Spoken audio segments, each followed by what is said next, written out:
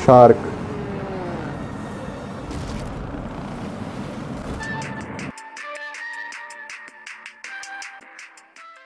Shark के बारे में जितनी रिसर्च की जाए, जितनी खोज की जाए, उतना कम है।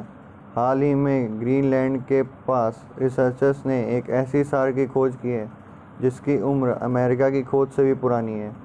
जी हाँ दोस्तों, उसकी उम्र 400 साल है।